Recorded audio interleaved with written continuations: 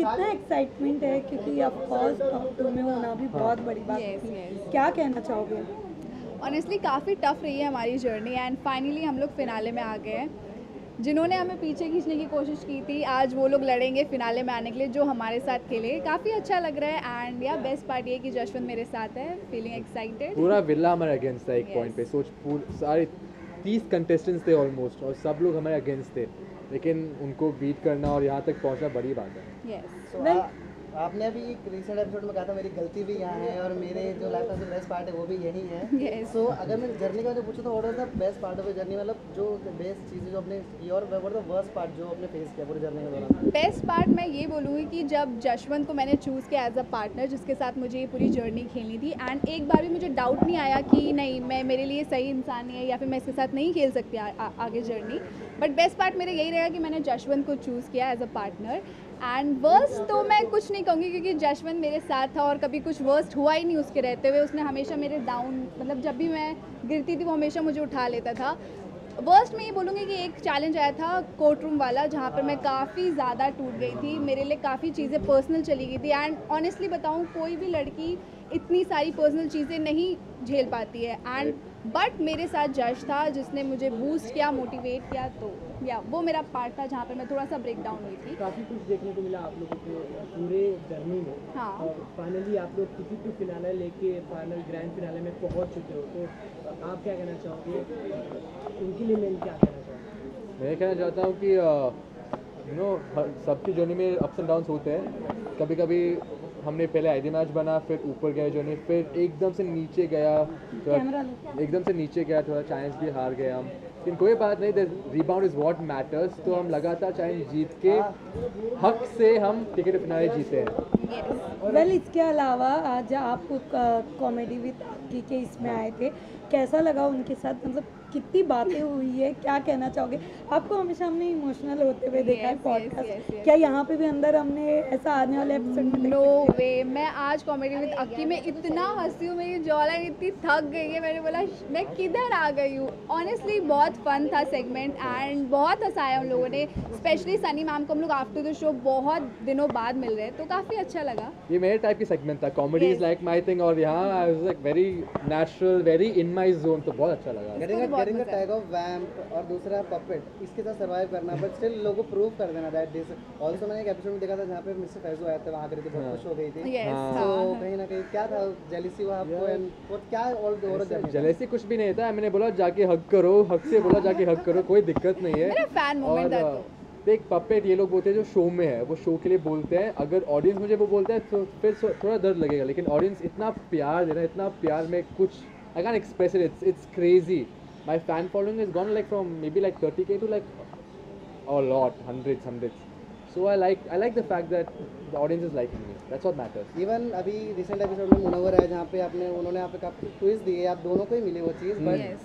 अभी तक पता तो नहीं उसका आपने क्या यूज़ किया बट कुछ एनी हिंट्स के क्या उन्होंने रायता फैलाया आके अ, देखो काफ़ी अच्छी डील लेकर आएँगे ऑनेस्टली बता रही हूँ काफ़ी अच्छी डील थी बट आप लोग शो देखो आपको पता चलेगा। ये ये डील से ज़्यादा वो लोग मनीपुलेट कोशिश कर रहा था कि मनिपुलेट हो जाए कि शायद रियलिटी शो रिलेशनशिप बाद में क्या होगा। Yes. अभी ले लो भाग जाओ पैसे के साथ। So that was the beauty दस लाख तो इतना भी नहीं है but you know it's the manipulation which counts कि शायद ये सच नहीं है शायद ये प्यार सच नहीं है। एंड फिर आप बोल रहे थे कि वैम्प वाली बात आती है तो आई डोंट थिंक सो मैंने वैम्प वाली चीज़ें कुछ भी शो में की थी। मैं शो को लेके काफ़ी ऑनेस्ट थी मैं जश को लेके काफ़ी ऑनेस्ट थी। मैं अपने गेम प्लान को लेके काफ़ी ऑनेस्ट थी एंड जिन्होंने मुझे नीचे नहीं खींच पाए अपनी जगह पर नहीं ला पाए वो ही यही सारी चीज़ें बोलते हैं एंड वो कहाँ है अभी और मैं कहाँ हूँ अभी बहुत डिफरेंस है तो या Yeah. बिलीव करती हूँ मैं अपने खुद पर एंड जश पे तो अच्छा ही चल रहा है सब साथ ही आकृति जब सचिन आए तो काफ़ी कुछ देखने को मिला काफ़ी पर्सनल बातें निकली चाहे दुबई वाली चाहे डांस वाली चाहे चिल्लाने वाली. काफ़ी कुछ तो जब ये सब फेस करना पड़ता है पर्सनली तो ये गेम पे कितना इफ़ेक्ट करता है ऑनेस्टली बहुत इफ़ेक्ट पड़ता है क्योंकि कोई भी नहीं चाहता कि उनकी पर्सनल लाइफ नेशनल टेलीविज़न पे लाई जाए। एंड मेरे साथ वो एक बार नहीं हुआ है दो से तीन बार हुआ है। एंड हर बार मैं गिर के खड़ी हुई हूँ और मुझे खुद पे काफ़ी प्राउड फील होता है कि मैं वहाँ पर किसी के कहने पे गिरी नहीं या फिर रुकी नहीं। मैंने हमेशा अपने पे बिलीव किया और आज टिकट टू फिनाले मेरे हाथ पे और मैं फिनाले पे खड़ी हूँ। सो अच्छा लग रहा है। थैंक यू सो मच पहली बार। काफ़ी कुछ तो कहना है ऑडियंस को बट फिनाले का वेट करो एंड आई होप आप लोग को फिनाले अच्छा लगेगा। अच्छे कंटेस्टेंट आए थे इस बार and I think I like to say कि हमेशा रियलिटी शोज़ में ऐसा होता है कि कभी कभी अनडिजर्विंग कंटेस्टेंट्स जीतते हैं ताकि शो की नाम बढ़े लेकिन वेरी रेयरली डिजर्विंग कंटेस्टेंट्स जीते हैं। तो इस बार आ, आप देख लेना if you think we are deserving if you think someone is deserving देख लो क्या होता है। But I feel like the finale episode has a lot of twist तो keep watching and keep supporting us thank you for all the love but सबसे अच्छी बात ये है कि हमको तीस लोग थे जो हमारे अगेंस्ट थे। उनके अगेंस्ट खड़े होकर भी उनके अगेंस्ट फाइट करके फिनाले तक पहुँचना वो बहुत बड़ी बात थी हमारे लिए। तो यह हमारे लिए वही विन है। Thank you so much thank you so much thank अंदर मत नीचे नहीं यहाँ पे यहाँ पे थोड़ा पीछे जाइए ना भाई घूम हटाओ घूम हटाओ थोड़ा पीछे और पीछे। अरे लाइट चालू करो क्या बात है? लाइट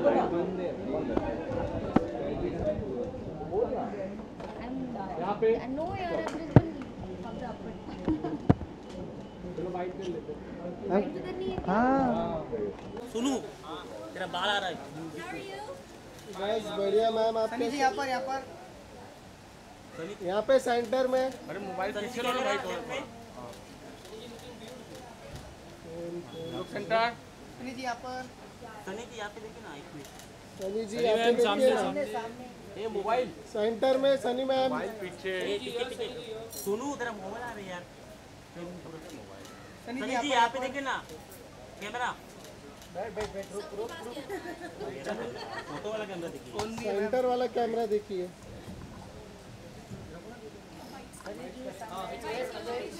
एक मिनट सनी जी यहाँ पे थोड़ा वो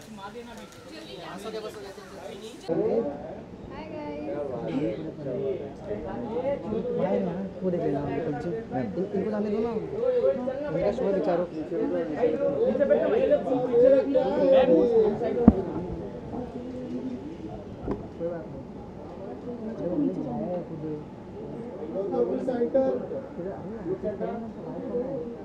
दोनों तरफ़ से अगर वीडियो करोगे तो निकल जाना ना बाइक वाला निकल जाना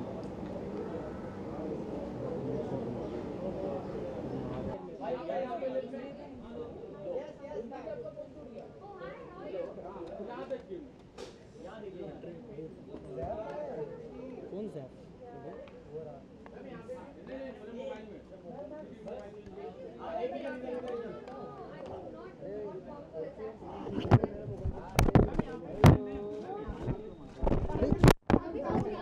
पैर से हटा यार। विनय विनय भाई पैर से हटा ना यार।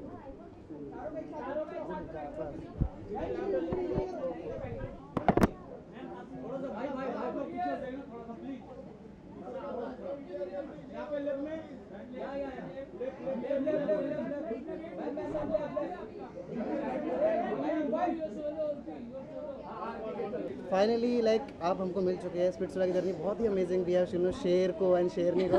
So what do like to say about your journey my journey is beautiful as you can see I think इससे अच्छी और बेटर जर्नी मैं ना इमेजिन कर सकता हूँ और ना मैंने सोचा होगा। So my journey was beautiful how was your journey I think it was amazing बहुत कुछ सीखने को मिला। बहुत चीज़ें अप्स एंड डाउन्स हुए but the best part was जो हमने कमाया जो कि है फ्रेंडशिप एंड हर्ष एंड जो हमारे सीनियर थे उनसे हमने बहुत कुछ सीखा उनसे मिलने का मौका मिला तो I think we all are grateful Harsh आपसे जानना चाहिए क्योंकि जिस तरह का ये शो है काफ़ी ऊंच नीच देखने को मिली। हाँ। पर सुभी जब आई थोड़ा सा आप लड़का है फिर भी आप लॉयल रह के अपने कलेक्शन के पास थे। जब ये सब ऐसा सिचुएशन आ जाता है तो कैसा नहीं सो so, मेरे साथ प्रॉब्लम ये थी कि मैं रुशाली को जानता था सिर्फ़ शो पे लाइक पाँच छः दिन से और शुभी को मैं बाहर से जानता था। सो मेरे लिए था जब शुभी ने आके मेरे को सारी बातें बताई कि रुशाली ऐसा कर देगी या छोड़ देगी तो आई वॉज़ कन्फ्यूज़ सो जो लव डैन में जो भी चीज़ें हुई, वो हो गई.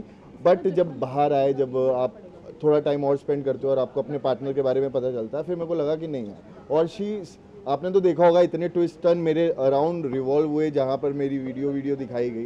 एंड शी वॉज़ देयर तो फिर सोच लिया ऐसा इंसान आपको जो बीच रास्ते नहीं छोड़ सकता वो कभी नहीं छोड़ेगा। रुशाली आपसे जानना चाहेंगे क्योंकि ये शो में आपको भी काफ़ी बार रोते हुए देखा गया। लास्ट एपिसोड में ही देखा जैसे ब्लाइंड फुल वाला टास्क था।